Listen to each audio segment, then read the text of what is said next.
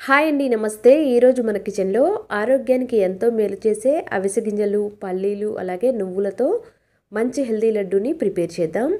ఈ లడ్డూని రోజుకొకటి తీసుకున్నట్లయితే శరీరానికి కావాల్సిన పోషకాలన్నీ కూడా సమృద్ధిగా అందుతాయి. ఇక్కడ మనం ఈ లడ్డూని చక్కెరని వాడకుండా బెల్లంతో ప్రిపేర్ చేస్తాం కాబట్టి చిన్నపిల్లల నుంచి పెద్ద వయసు వాళ్ళ వరకు ఎవరైనా కూడా హ్యాపీగా తినేయచ్చు. ఇప్పుడు ఈ లడ్డూని ప్రిపేర్ చేయడం కోసం ముందుగా స్టవ్ ఆన్ చేసేసి ఒక కడాయిని పెట్టాను. ఒకటిన్నర కప్పు వరకు అవిసె గింజల్ని తీసుకుంటున్నాను. వీటిని గ్యాస్ని లో ఫ్లేమ్లో పెట్టి మాత్రమే చక్కగా వేయించుకోవాలి. అవిసె గింజలు లోపల వరకు వేగితేనే లడ్డూ రుచి బాగుంటుంది. లో ఫ్లేమ్లో నిదానంగా వేయించుకుంటే కొద్దిసేపటికి కాస్త రంగు మారటంతో పాటు ఇలా చక్కగా వేగిపోతాయి. ఇలా వేగిన తర్వాత స్టవ్ ఆఫ్ చేసేసి వీటిని వేరొక ప్లేట్లోకి తీసుకొని పూర్తిగా చల్లారనివ్వాలి. నెక్స్ట్ ఇదే ప్యాన్లోకి ఒక కప్పు వరకు నువ్వులని తీసుకున్నాను. వీటిని కూడా లో ఫ్లేమ్లో నిదానంగా వేయించుకోవాలి. మనం వేయించుకునే పదార్థాలన్నీ కూడా లో ఫ్లేమ్లో పెట్టి మాత్రమే వేయించుకోవాలి. అప్పుడే లడ్డు రుచిగా ప్రిపేర్ అవుతుంది. ఇలా చక్కగా వేగిపోయిన తర్వాత ఇప్పుడు వీటిని కూడా వేరొక ప్లేట్లోకి తీసుకొని పక్కన పెట్టేసేయాలి. నెక్స్ట్ ఇదే కడాయిలోకి ఒకటిన్నర కప్పు వరకు పల్లి గింజల్ని తీసుకుంటున్నాను. వీటిని కూడా లో ఫ్లేమ్లో పెట్టి నిదానంగా వేగనివ్వాలి. ఈ లడ్డూని ప్రిపేర్ చేయడం కోసం మనం అవిసె గింజలు తీసుకున్నాం కదా కొంతమందికి అవిసె గింజల ఫ్లేవర్ అంతగా నచ్చదు. అలాంటప్పుడు పల్లి గింజల్ని కొంచెం ఎక్కువ తీసుకుంటే అవిసె గింజల్లోని ఫ్లేవర్ అనేది మనకు అంతగా తెలియదు. ఇక్కడ చూడండి వీడియోలో చూపిస్తున్న విధంగా పల్లి గింజలు వేగిపోయిన తర్వాత ఇప్పుడు స్టవ్ ఆఫ్ చేసేసి వీటిని కూడా ఒక ప్లేట్లోకి తీసుకొని పక్కన పెట్టేసేయాలి. నెక్స్ట్ మళ్ళీ ఇదే కడాయిలోకి ఒక కప్పు వరకు ఎండు కొబ్బరి పొడిని తీసుకుంటున్నాను. ఇక్కడ నేను రెడీమేడ్ కొబ్బరి పొడిని తీసుకున్నాను. ఒకవేళ రెడీమేడ్ కొబ్బరి పొడి లేకపోతే ఎండు కొబ్బరిని చిన్న చిన్న ముక్కలుగా కట్ చేసి కాస్త వేగిన తర్వాత మిక్సీలో వేసేసి ఇలా పౌడర్ లాగా ప్రిపేర్ చేయొచ్చు. ఈ ఎండు కొబ్బరి పొడిని ఒక్క రెండు నిమిషాలు మాత్రమే వేయించుకొని పక్కకు తీసేయాలి. నెక్స్ట్ మిక్సీ జార్లోకి కొన్ని డ్రై నట్స్ని తీసుకున్నాను. బాదం కాజు పిస్తాని తీసుకున్నాను. వీటిని కాస్త కోర్సుగా గ్రైండ్ చేయాలి. ఇలా కాస్త పలుకు ఉండే విధంగా గ్రైండ్ చేసి ఒక గిన్నెలోకి తీసుకొని పక్కన పెట్టేసేయాలి. నెక్స్ట్ ఇదే మిక్సీ జార్లోకి ముందుగా వేయించుకొని పూర్తిగా చల్లారిన అవిసె గింజల్ని మెత్తటి పొడిలాగా ప్రిపేర్ చేయాలి. ఇలా మెత్తగా పొడి పట్టిన తర్వాత ఇప్పుడు ఈ అవిసె గింజల పొడిని ఒక గిన్నెలోకి వేస్తున్నాను. అవిసె గింజల్ని పొడి చేసేటప్పుడు ఇలా మెత్తగానే పొడి చేయాలి. పలుకు ఉండే విధంగా కాకుండా ఇలా మెత్తని పొడిలాగా ప్రిపేర్ చేయాలి. నెక్స్ట్ మళ్ళీ ఇదే మిక్సీ జార్లోకి మనం ముందుగా వేయించుకున్న నువ్వులని తీసుకున్నాను. ఈ నువ్వులని మెత్తగా కాకుండా కొంచెం పలుకు ఉండే విధంగా గ్రైండ్ చేయాలి. ఇక్కడ చూడండి వీడియోలో చూపిస్తున్న విధంగా చిన్న పలుకు ఉండే విధంగా గ్రైండ్ చేసేసి ఇప్పుడు ఈ నువ్వుల పొడిని కూడా అవిసె గింజల పొడిలోకి వేసేసాను. నెక్స్ట్ మళ్ళీ ఇదే మిక్సీ జార్లోకి ముందుగా వేయించుకున్న పల్లీలని పొట్టు తీసేసి వేస్తున్నాను. వీటిని కూడా మెత్తగా కాకుండా చిన్న పలుకు ఉండే విధంగా గ్రైండ్ చేయాలి. ఇక్కడ చూడండి వీడియోలో చూపిస్తున్న విధంగా ఇలా పలుకులు పలుకులు ఉండే విధంగా గ్రైండ్ చేసేసి వీటిని కూడా గిన్నెలోకి వేసేసాను.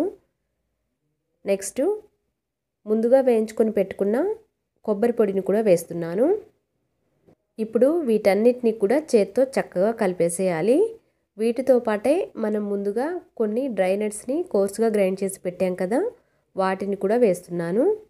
ఇలా ఒకసారి కలిపేసిన తర్వాత ఈ గిన్నెని పక్కన పెట్టేసి ఇప్పుడు పాకంని కూడా ప్రిపేర్ చేద్దాం. ఇప్పుడు పాకంని ప్రిపేర్ చేయడం కోసం స్టవ్ మీద ఒక పాత్రని పెట్టి ముందుగా వేయించుకున్న పదార్థాలు కొలిచిన కప్పుతోనే ఒకటి ముప్పావు కప్పు వరకు బెల్లం తురుముని తీసుకుంటున్నాను. అలాగే అరకప్పు వరకు నీళ్ళని కూడా తీసుకొని గ్యాస్ని లో ఫ్లేమ్లో పెట్టేసి ఈ బెల్లాన్ని కాస్త కరిగించాలి. తీపి కొంచెం తక్కువ తినే వాళ్ళైతే ఒకటిన్నర కప్పు అయినా కూడా సరిపోతుంది.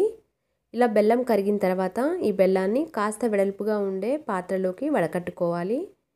ఇక్కడ మనం ముందుగా వేయించుకున్న పదార్థాలన్నీ కూడా ఐదు కప్పుల వరకు తీసుకున్నాం కదా.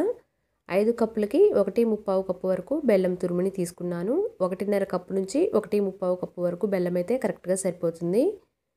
ఇలా వేరొక వెడల్పుగా ఉండే పాత్రలోకి వడకట్టేసిన తర్వాత ముందుగా మీడియం ఫ్లేమ్లో పెట్టేసి బెల్లాన్ని కాస్త ఉడికించాలి. పాకం వచ్చే ముందు లో ఫ్లేమ్లో పెట్టేసి పాకాన్ని చెక్ చేస్తూ ఉండాలి.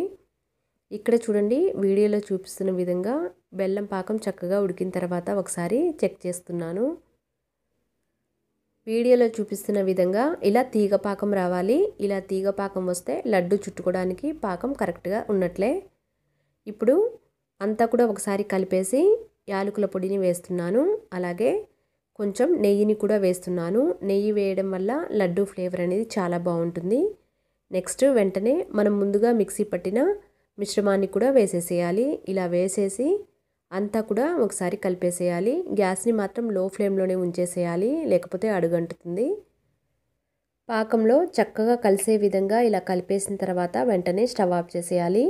లేత తీగ పాకం వచ్చిన తర్వాత మిక్సీ పట్టిన పొడిని అంతా కూడా వేసేసి ఇలా పాకంలో కలిసే విధంగా కలిపేసి స్టవ్ ఆఫ్ చేసేసి కొద్దిసేపు చల్లారనివ్వాలి.